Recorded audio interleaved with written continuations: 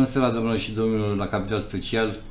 În această seară avem uh, un invitat uh, de la Pro-România uh, din Lupeni. Este vorba de candidatul la postul de primar al municipiului Lupeni, domnul Nicolae Ivanuș. Bună seara! Bună seara și bine v-am găsit! Uh, domnule Ivanuș, iată că uh, alegerile se apropie cu pași și repezi. Acum uh, vreo două, trei săptămâni spuneați, afirmați că uh, cu siguranță alegerile se vor amâna. Uite că nu se vor amâna, se vor ține la termen în data de 27 uh, septembrie. Cum, cum, ați, cum ați demarat campania electorală în prima săptămână? Deci, părerea mea de acum trei săptămâni este valabilă și astăzi. Consider că aceste alegeri sunt neavenite chiar dacă probabil constituțional cineva susține că, s-a schimb, că la patru ani se stabilește legi, legitimitatea autorităților locale. Dar dacă jocul a început și astea sunt regulile jocului și noi vrem să participăm și vrem să participăm, să ne autoevaluăm sau să ne evalueze electoratul, să vedem cine suntem și ce suntem, noi ne jucăm șansa până la capăt. Campania electorală am început o săptămână trecută exact conform legii, cu 30 de zile înainte. A fost și Victor Ponta în Valea Jeului, aici la Petroșani, am întâlnit și a arătat sprijinul față de noi. Ne jucăm cărțile, chiar dacă uh, legislația actuală electorală are o cutumă, favorizează, fiind un singur tur primar în funcție, de asemenea sunt favorizate partidele mari, noi suntem cu priviți cu șansa a treia sau a patra, în schimb vrem să ne jucăm șansa până la capăt și eu consider că, cel puțin pentru municipiul Lupeni, organizația Pro-România al cărui președinte sunt, a stabilit un candidat competent la primăria municipiului Lupeni, cu experiență, cunoscut, de notorietate, iar candidații pentru Consiliul Local, avem listă completă, deci 24 de consilieri, candidați la consilieri, este, după ce am studiat celelalte liste, consider că e cea mai competentă, e și cu oameni cu experiență, și reprezentativă pentru toate categoriile sociale, reprezentative și pentru toți locuitorii în sensul ca locații, ca... Deci, uh, suntem în întrecere, participăm și eu sper, chiar dacă locul întâi, după sondajele care au fost la început de campanie, uh, crea un câștigător, deci locul întâi cam ocupat, ne batem pentru locul 2. Eu am încredere în mine, dar uh, mi-e greu să cred sau să admit că voi ieși la alegeri primar, dar în schimb, consilier local sigur voi fi și indiferent de poziția care voi fi în Consiliul Local, eu voi lupta pentru proiectele care ni le-am propus. Deci garantez chestia că uh, aceste proiecte le voi realiza în cei patru ani. Cât mai am de gând să fac politică, că dau un scris că peste patru ani de zile cariera mea politică se va sfârși acolo. Da, uh, uite că uh, pandemia de coronavirus nu scutește pe nimeni, chiar uh, președintele partidului dumneavoastră, domnul uh, Victor Ponta, este suspect de, de coronavirus și va intra în izolare, am înțeles. Eu regret situația, dar el ne-a atenționat de la început, încă de la începutul sau la, am avut o întâlnire acum vreo trei săptămâni, deci în precampanie, cu distanțare socială, cu... Deci în data de 6 august am avut o întâlnire, voia să vină la depuneri de coroane, uh, n-am mai venit tot pe această chestie de distanțare socială sau de aglomerare, că i s-a spus că va fi o aglomerație foarte mare. Și am avut o întâlnire la Simeria și ne-a tras atenția, rugămintea să avem grijă să și pentru noi, și pentru familiile noastre, și pentru cei cu care ne întâlnim. De aia campania care o fac eu, probabil uh, uh, voi fi văzut mult pe online, în mijloace media, deci media vizual, deci acolo particip online, pe Facebook, pe alte rețele sociale, pentru că vreau să am grijă și de mine și de familia mea și de către, și pentru locuitori. Că adică și eu pot infecta pe alții. Deci, v-am zis, personal nu eram de acord cu aceste alegeri, dar dacă legea, luptăm. Ne spunem proiectele și participăm. Suntem un partid, eu fac parte dintr-un proiect și m-am băgat în partidul ăsta, deci în momentul de față, proiectul nostru adevărat politic este Victor Ponta, președinte 2024. Deci acum vrem să ne arătăm că putem intra în autoritățile, la autoritățile locale, deci suntem eligibili pentru aceste funcții, de asemenea, peste trei luni de zile pentru Parlament și pe urmă, în 2024, să fim la guvernare și să avem președintele nostru sau să participăm la guvernare.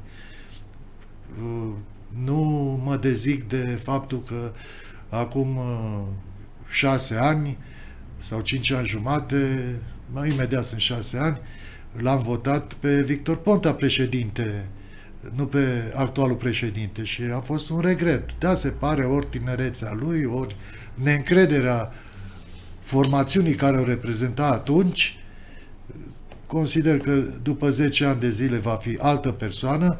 Mie îmi place foarte mult la Victor Ponta că și-a recunoscut toate greșelile care le-a făcut și sunt sigur că a învățat din aceste greșeli. Nu a negat, chiar dacă mulți îl acuză și de chestii inventate, eu zic că este cel mai bun politician uh, din generația lui.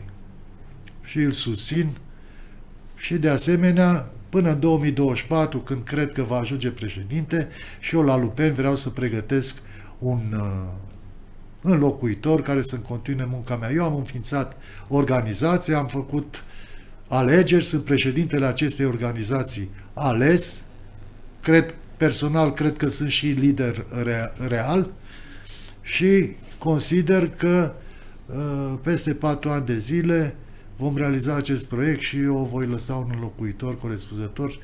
De aia chiar uh, fac un apel către locuitorii municipiului Lupen să vină alături de noi, nu neapărat, uh, nu fac apelul ca vot, ci să vină alături de acest proiect că sigur vom face lucruri bune pentru oameni, pentru că nu e doar un slogan, este chiar o realitate că suntem uh, pro-România, suntem pentru România. Um, da, la Lupeni, sigur, s-au întâmplat multe lucruri bune în ultima perioadă sub mandatul actualului primar și nu contestă nimeni faptul că, știu s-a asfaltat, um, s-au um, reabilitat o mulțime de clădiri, însă, sigur, mai sunt multe de făcut și aș vrea să vă întreb uh, programul, în programul noastră Uh, pe care îl veți pune în practică dacă veți ieși primar, ce, cu ce noutăți veniți? Deci uh, s-au făcut multe lucruri bune. Dar consider că aceste lucruri tot trebuiau făcute, le făcea oricine. Deci, de fapt, s-au finalizat sau s-au început niște proiecte existente de reabilitare, de consider că sunt niște... Deci, prima oară, problema economică toată lumea în analize economico-socială, începe cu activitatea economică, cu toate că eu trebuia să încep cu activitatea socială, că sunt om de stânga sau activitatea economică. Mina Lupenică din 2018 este pe închidere, nu ținea de autoritatea locală. Aceasta e situația economică în Europa la zi. Trebuie găsită neapărat o alternativă. Unica alternativă, din punctul meu de vedere, nu înlocuiește o situație monoindustrială, cum este în Lupeni, cu alta monoindustrială sau cu altă industrie. Singura soluție pentru Lupeni, cred că și pentru, adică sunt sigur și pentru Valea Jiului, există turismul care are un potențial deosebit. În Lupeni s-au făcut pași mari pentru dezvoltarea turismului. Eu consider că trebuie continua pe sistemul de parteneriat public-privat, dezvoltarea turismului, dar, în schimb, în momentul de față, își aduce o contribuție economică doar perioada de iarnă, noiembrie-martie.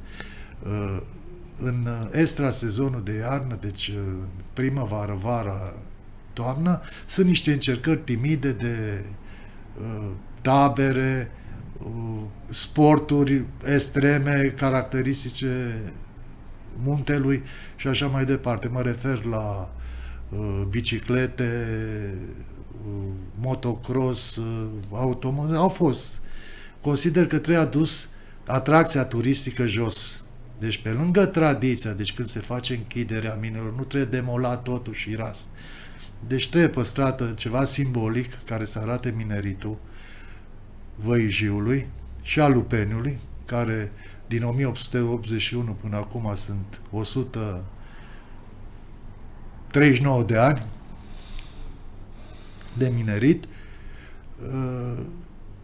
sunt niște spații, au apărut în ultimii ani și începând din 2021 uh, vor intra și în uh, inventarul primăriei, terenurile care au rezultat din închiderea ecologizărilor min, minelor Lupen Sud și Mina Bărbăten, M. Bărbăten. Eu, în uh, programul prezentat, am spus înființarea două parcuri industriale. Dar cele două parcuri, propriu zis, există. Nu mai trebuie reabilitate, ci refăcute într E vorba de incinta Lupen Sud, care este a primăriei din 2003, deci de 17 ani, și arată sub orice critică, anumite porțiuni au fost concesionate unor investi, așa zis investitori, de sunt vreo 5-6 firme acolo care își desfășoară activitatea, nu mai există, nu mai îngrijește nici, cu toate că e gestiunea, e terenul primăriei acolo.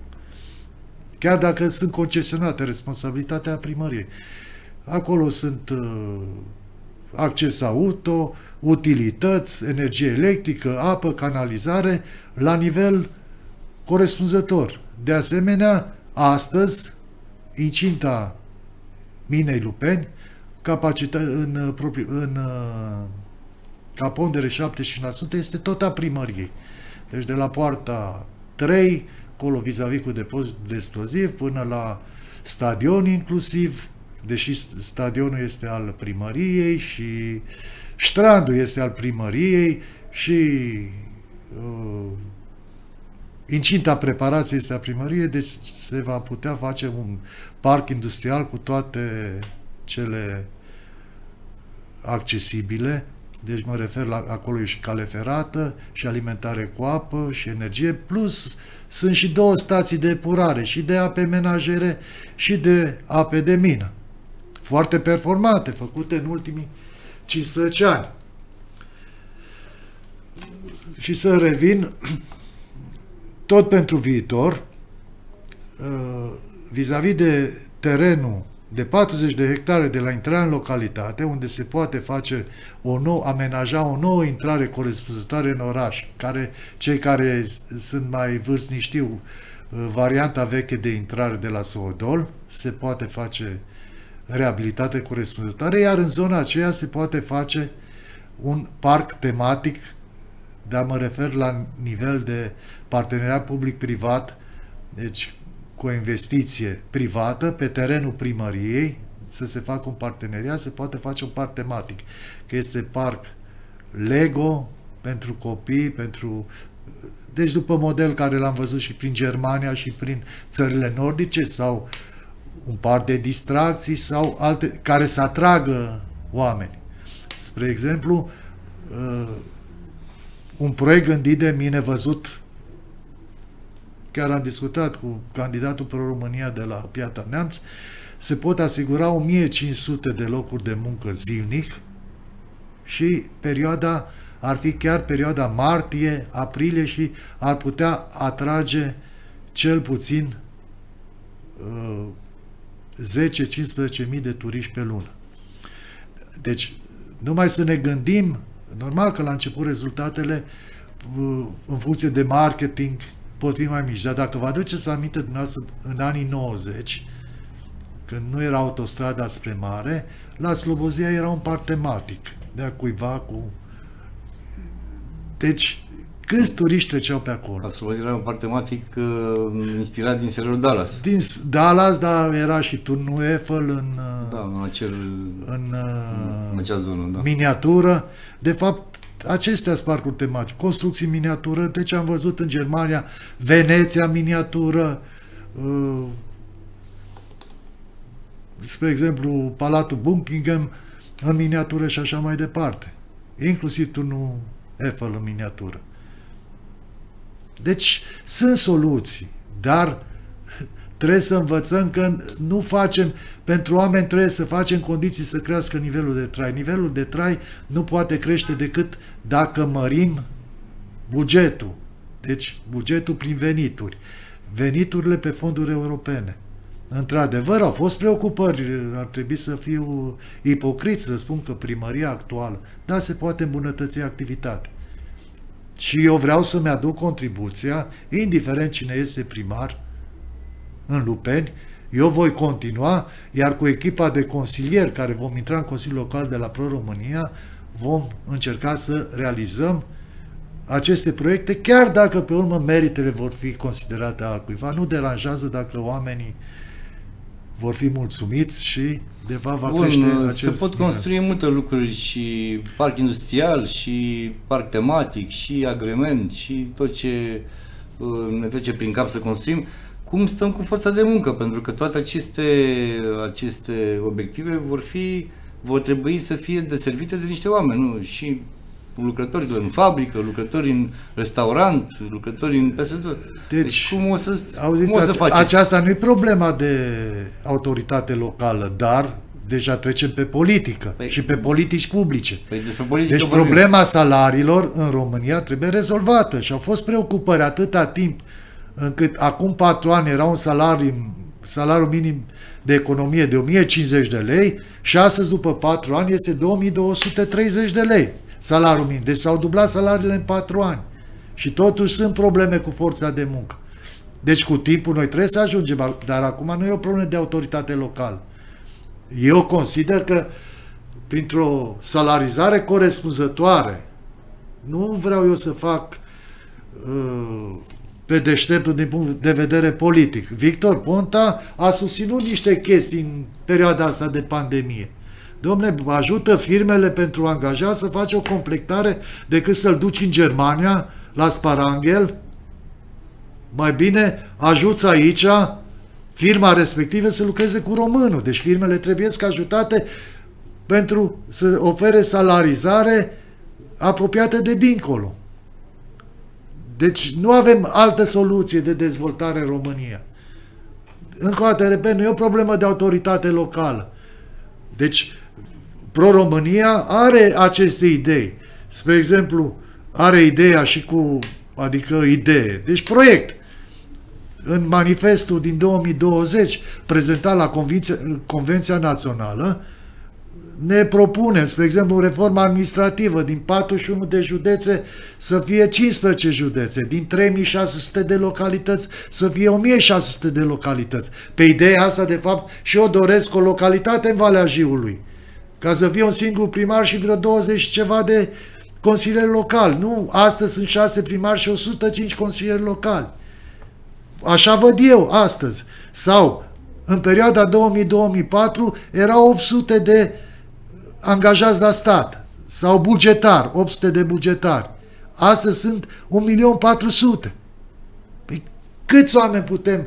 Și, adică pot fi ținuți 5.100 de pensionari și uh, 3 milioane 500 de angajați la privați pot susține pensionare și 1000 și 1 milion și ceva de angajați? Deci vorbesc de reforma administrativă. Deci s-a hotărât, nu este, de 2 ani de zile nu este forță de muncă în construcții, unde mă pricep în ultimii 15 ani. Am lucrat în domeniul ăsta de coordonare, conducere pe șantiere, construcții utilitare și industriale. Și, într-adevăr, probleme mari cu forța de muncă în construcții. Tot ce a fost profesionist și bun și tânăr, cu putere de lucru, a mers dincolo. Și s-au hotărât 3.000 de lei salariu minim în construcții. Acum 2 ani. A fost o măsură. Dar, spre exemplu, se pare că și 3.000 e puțin. Și nu știu dacă ați urmărit, după știri, știți că sunt câți muncitori în construcții din afara Uniunii Europene, de prin uh, India, din uh, Asia Mică, sunt în București, că, mai ales Vietnam, de, de Vietnam, știți cât Thailanda. sunt, Irak, chiar, știți cât sunt?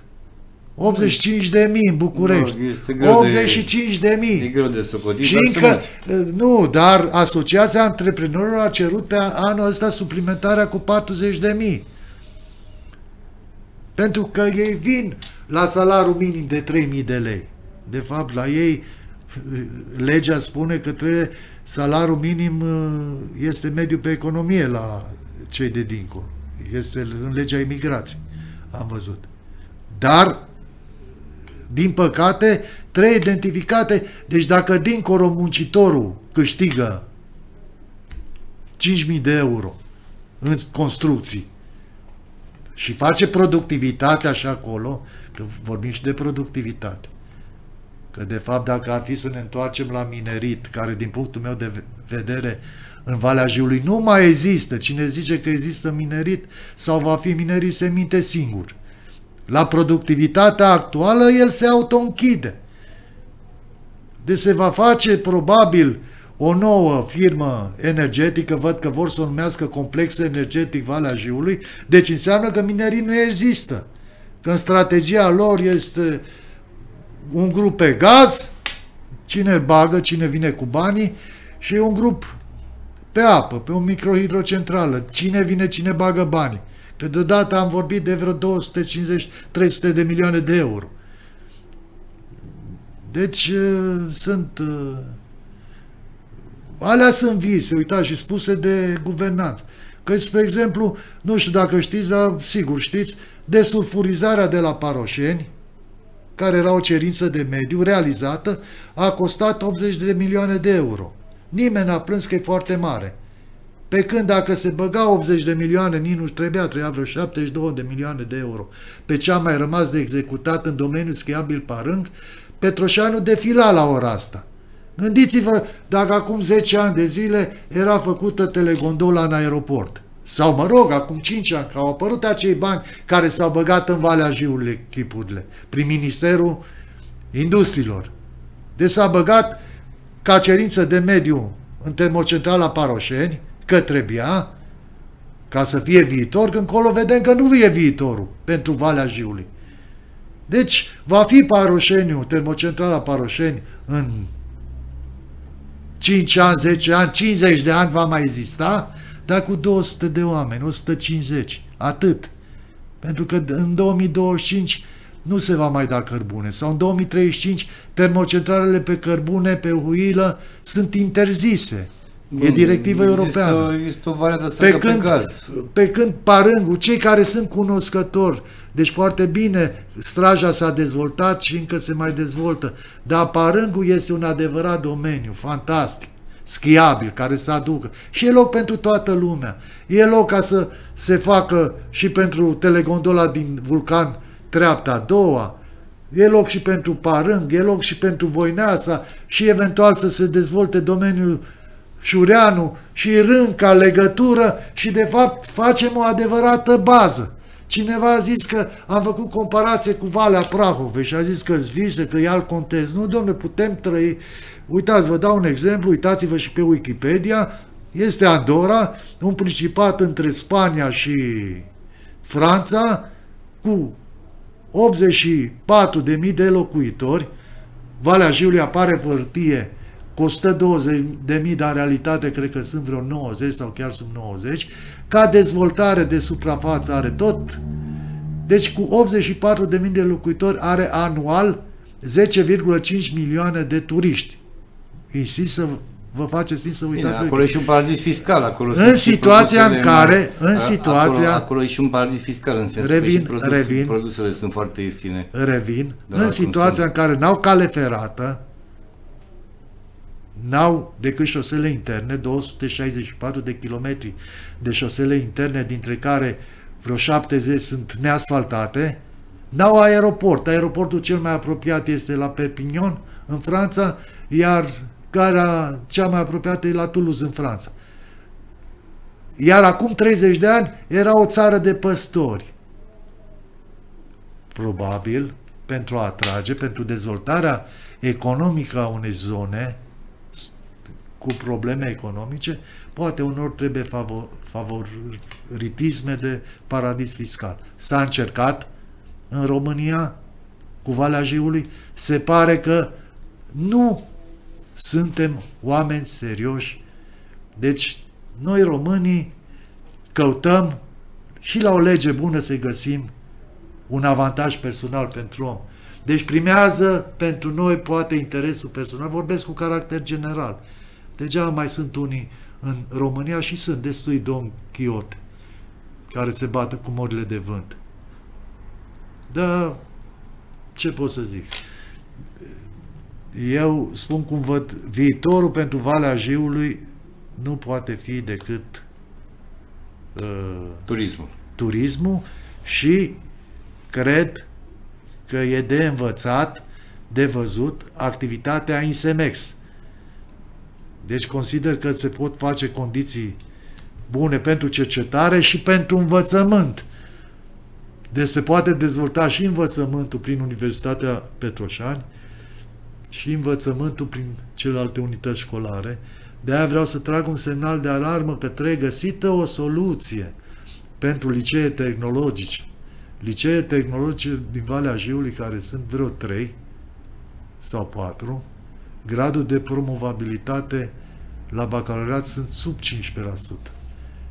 Iar locațiile lor sunt deosebite. Eu consider că trebuie investit în infrastructură, iar inspectoratele școlare, recte, Ministerul Învățământului, trebuie să identifice, să caute soluții, să schimbe acest indicatori. Nu vreau să dau vina nici pe elevi, nici pe părinți, nici pe profesori, dar nu cred că se poate accepta un liceu cu promovabilitate de 10-13%. Sau vă dau exemplu, un liceu în Stoina, în județul Gorj, de când au apărut camerele, nimeni nu a luat și rămâne liceu. Nimeni nu a luat bacalaureat. Da. Uite, asta chiar e o știre, nu, nu știam, un liceu unde nimeni nu a luat bacalaureat. Mai sunt vreo trei, urmăriți, căutați pe net că le găsiți. Deci nu s-a luat bacalaureatul de la funeriu încoace. Nimeni n-a luat. Măcar unul să iei. Mai sunt și în București, unde știu că cunoașteți mai bine situația. Sunt vreo două și în București. Acolo sunt 5-6 care și-au bacalaureat. Dar nu poți accepta. Deci sunt profesori cu diferite grade. Cum poți accepta? Adică care e diferența înainte de 89, când se zicea că trec, trebuia să am rezultate, că i-am trecut pe toți. Acum a găsit explicația, dacă las repetenți, nu o să am elevi. Dar nu trebuie, poate trebuie schimbată programa. Deși problema de învățământ consider că e o chestie și de autoritate locală, atâta timp cât Consiliul de Administrație a unităților școlare din din uh, municipiul Lupeni și din celelalte localități sunt stabilite de Consiliul Local. Ca și spitalele, de fapt. Adică nu, responsabilitatea nu este a primăriei, trebuie făcută analiză și implicare. Deși problema de sănătate și problema de învățământ este și autorității locale. Tocmai de acum sunt unii care sunt deranjați că trebuie să înceapă școala și a dat responsabilitatea către autoritățile locale. Nu-i corect. Într-adevăr, și eu personal consider că Ministerul Sănătății și Ministerul de Interne și Ministerul Educației trebuie să dea niște instrucțiuni foarte clare, cum vede. Nu a lăsat la latitudine, dar clar a rămas pe chestia asta. Acum au observat și ei că, de fapt, autoritățile locale au în responsabilitate învățământul. Poate au înțeles acum și autoritățile locale. Deci nu numai să dai și condiții. Deci dacă dai condiții, nu-i fire să ceri și rezultate. Este normal. Nu ne-ți ofer condiții sau dacă nu-ți ofer că n-am bani, că n-am de unde. Și pe urmă ajungem tot la buget. Da, este complicat într-o societate ca a noastră cu resurse puține și cu nevoi multe să faci să fie bine tuturor și să fie și salarii mari, să fie, să ducem da, viață, o viață E complicat, dar poate să fie un obiectiv, o ștachetă, să poate cauți. Să o ștachetă, deci da. sunt oameni în țara asta care au sfințit locul. Dar nu poți să, nu poți să vrei să fie ca afară și să muncești Eu v-am zis niște principii. Sigur. Nu v-am zis, aici nu mi-am luat angajament în învățământ, am povestit. Nu mi-am luat angajament în sănătate, dar poți avea preocupare. De la învățământ, problema, problema așa cum o văd eu este că de la învățământ pleacă multe, da, dar majoritatea problemelor. Eu zic că trebuie schimbată program. Dar e o părere, eu nu da. sunt de specialitate. Eu sunt inginer și eu sunt totuși inginer real. Nu vopsit sau ceva de genul ăsta. Mie îmi plac cifrele, chiar și în politică eu folosesc cifre exacte. Nu, nu pot uh, minți. Eu nu țin minte să fi mințit pe cineva.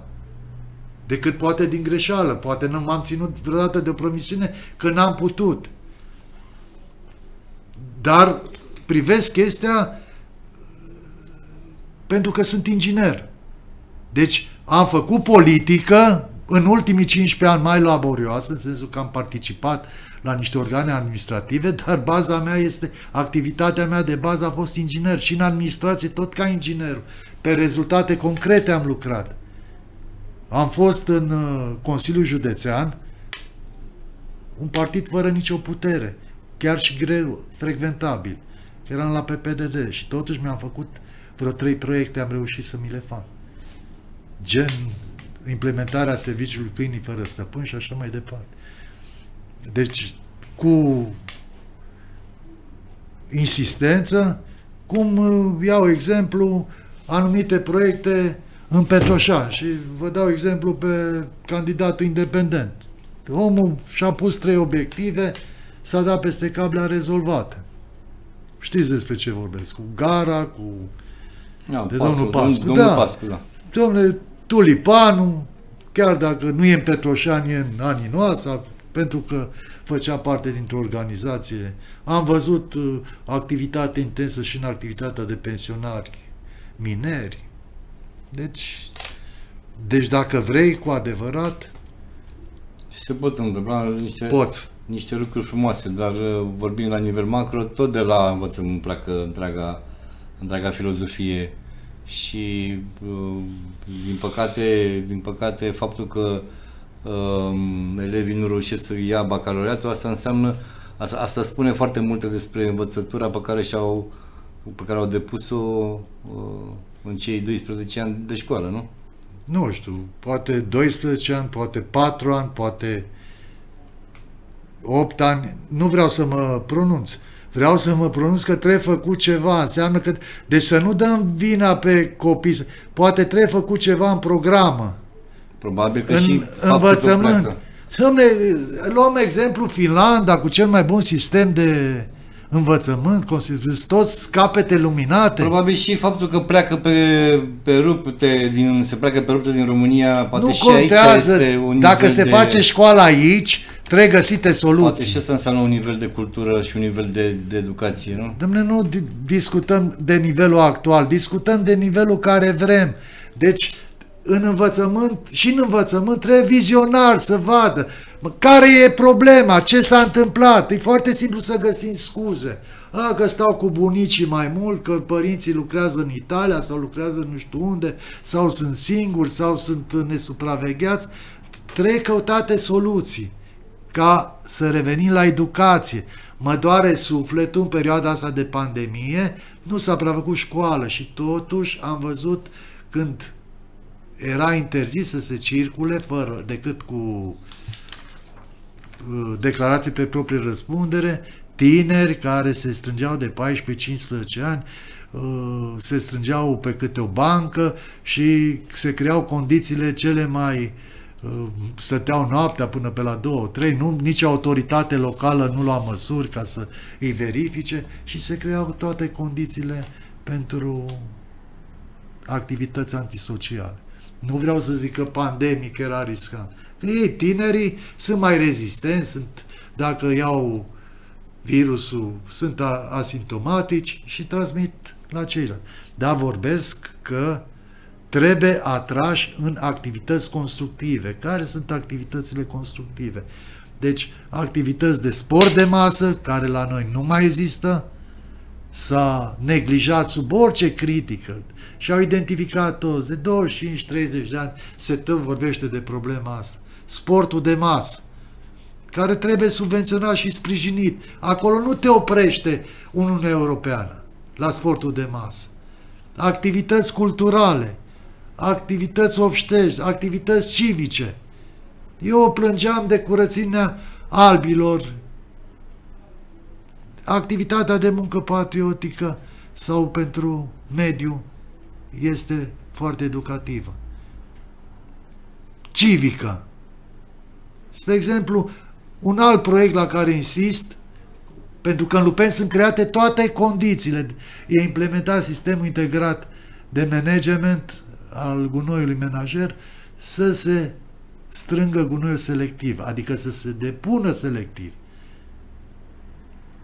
Și eu voi avea aceste soluții. Bun. Deci, pot ajuta și fac. Și pe urmă, ce simplu va fi.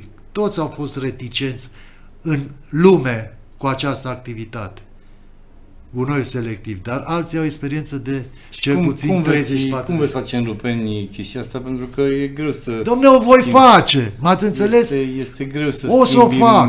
Eu sunt cu faptele, nu cu vorbe. De ce vreți Bun. vorbe de la mine? Păi nu vreau o să, să o fac. faceți o scurtă descriere a acestui... Domne, o să fac! E angajamentul meu.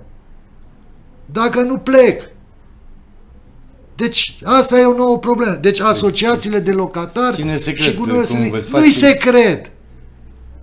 Da, o să vă, nu o să vorbesc că e poveste. poveste. M-ați okay. înțeles? O să ziceți poveste. Momentan, până nu momentan fac. povestim până Eu am realizat, am realizat multe lucruri, am venit cu propuneri și toți au zis că vise și povești și le-am realizat.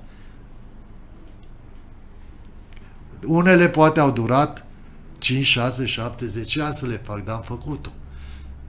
Deci, în decursul timpului, inclusiv profesional, am realizat niște lucruri deosebite. Dar eu nu le-am pus pe hârtie. Le-au pus alții, ideile mele și poate au și doctori. Cu acordul meu. Recunosc. Eu n-am vrut acest din, titlu. Din Consider că e o prostie om de acțiune care lucrez în economie să te faci doctor. Doctorii sunt pentru universități, pentru cercetători. Din nu ajungem comandantul poliției, făcut, doctor, primar, doctor, Domn, inginer, dar el e economist. Da, domnule Bănuș, din proiectele pe care le-ați realizat uh, anterior, spuneați că ați realizat trei proiecte la Consiliul Local sau la Consiliul Județean? Nu, la Consiliul Județean, Județean. pentru că la Consiliul Local cât am fost în Consiliul Local, am făcut parte dintr-un partid care era și primarul și de fapt eram președintele activității economice, de am fost coparticipant la niște proiecte și niște activități. Uh, eu uh, am spus de funcția de consilier local și consilier uh, județean, mai mult să arăt experiență. Exact. Dar n-am fost niciodată la butoanele. La... Nu știu dacă mă înțelegeți. Haideți să fiu sincer. Domne, la mine, a Lupeni, am venit muncitor necalificat în 1981 și am plecat director în 2005. Dar la butoane am fost vreo 3 ani. Meseria mea adevărată, mai de durat, a fost inginer și producție sau conducătorul tehnic al minei. Aia e meseria mea de bază. Și acolo mi-am arătat profesionalism. Dar rezultatele deosebite ca director aș fi vrut să le aplic înainte de a fi director și n-am reușit. Iar ca director am reușit și s-au văzut. Restul până atunci apăreau povești. Nu știu dacă înțelegeți. Ba, ba mai mult, odată am avut ideea cu livrarea producției sortate, că mina Lupen tradițional numai producție preparată dădea.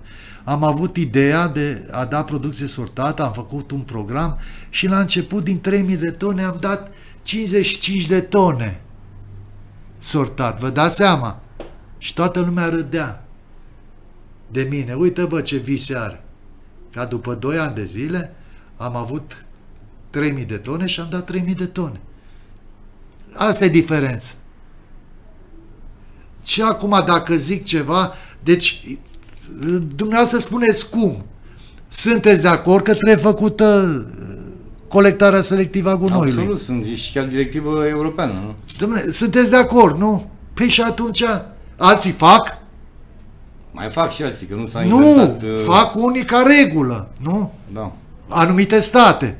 Nici nu înțeleg cum, cum pot să Ei, strângă neco- neselectiv. Bun, Bă, sticla, e vorba de sticlă. gradul, și de gradul de civilizație a fiecărui popor, nu până la urmă, nu? Domnule, n-au văzut totdeauna civilizat, să fim serioși. Au și ei oamenilor.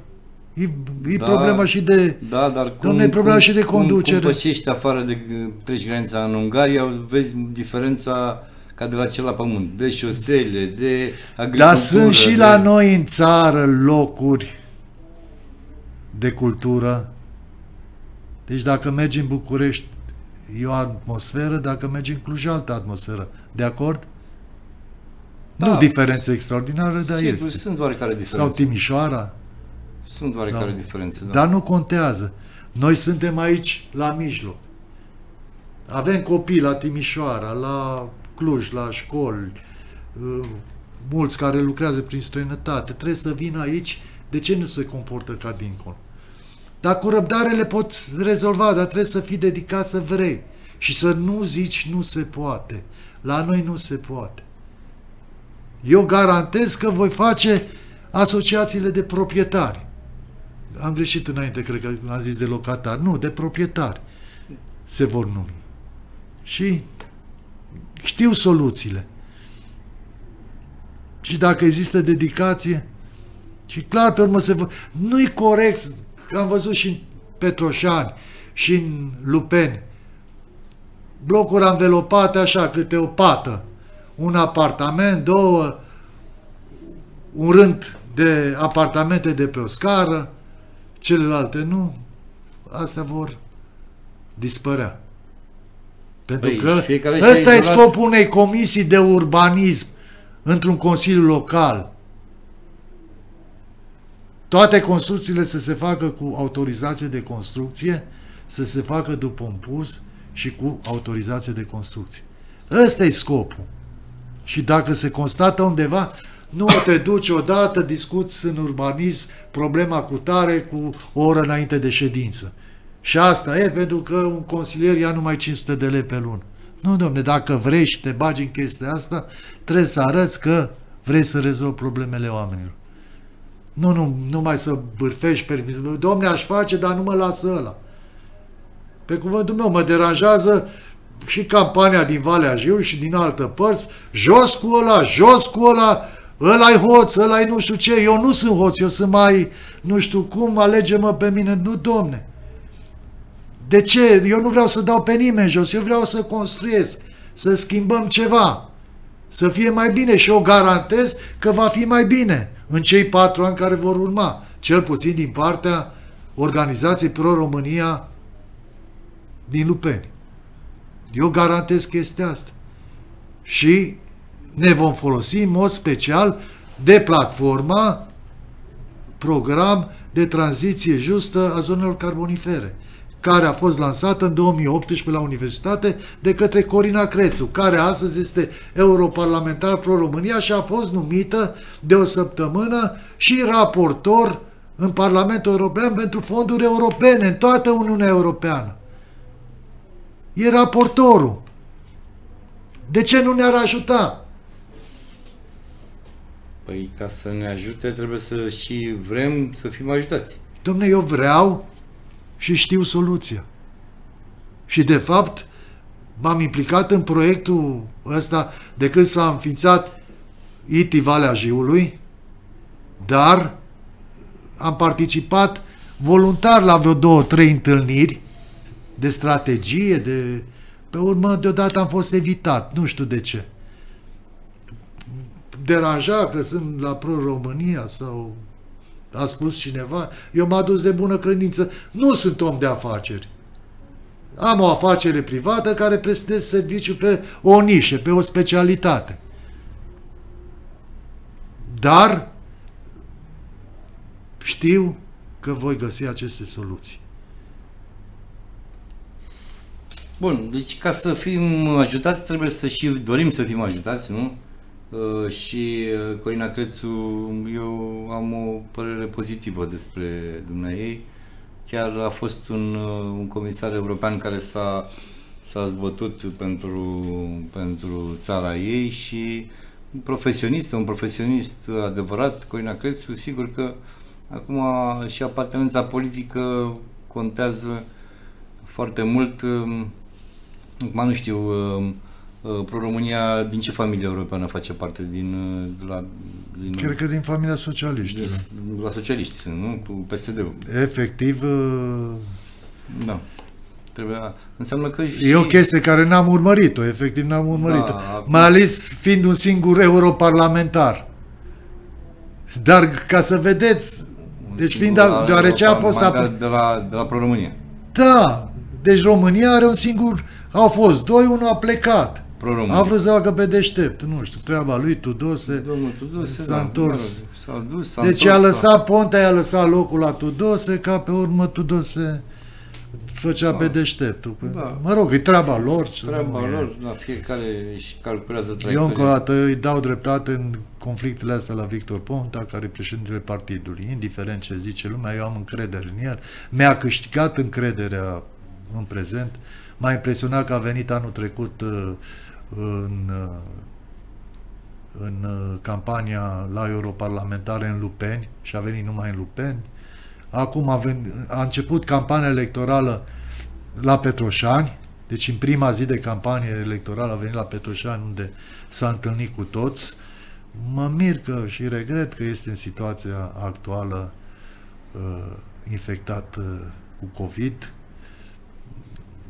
a, a umblat prin uh, toată țara. și... Acum nu știu exact dacă este chiar infectat sau dacă e doar suspect.